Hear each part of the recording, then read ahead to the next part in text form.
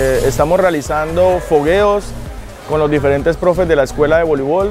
La idea principal de Inderva es que se complemente el estudio con la, con la actividad física, eh, para que tengan su mente ocupada, para que pasen un rato agradable, lúdico formativo, que se olviden un poco de las tareas mientras vienen a, a, jugar un rato, a aprender ese hermoso deporte. Agradecimiento a Inderva por, por, por, esos espacios, agradecimiento a la, Junta de, a la Junta de Acción Comunal del Barrio Palmira, a los coordinadores de Inderva, a su director, agradecimiento por todo eso que están haciendo por la comunidad,